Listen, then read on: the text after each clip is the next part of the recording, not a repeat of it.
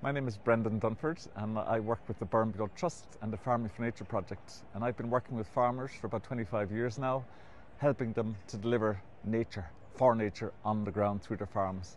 Normally we do that through public funding, but with ReFarm, what's really exciting is that we're going to use private funding to get farmers to deliver more for nature.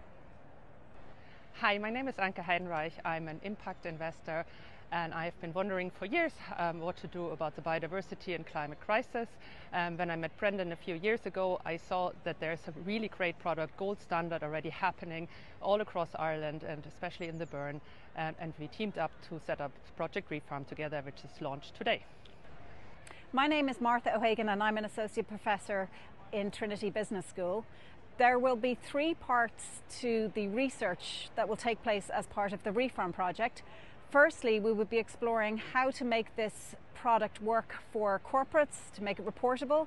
Secondly, how do we make this work for farmers so that they have long term incentives and rewards for farming for nature? And lastly, how do we scale this? We want to scale it nationally for businesses and for farms across Ireland.